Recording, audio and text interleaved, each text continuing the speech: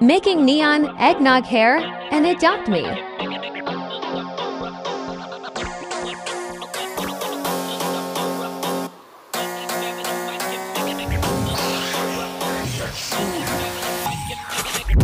Oh yes, the eggnog hare is so much better than the gingerbread hare in neon form.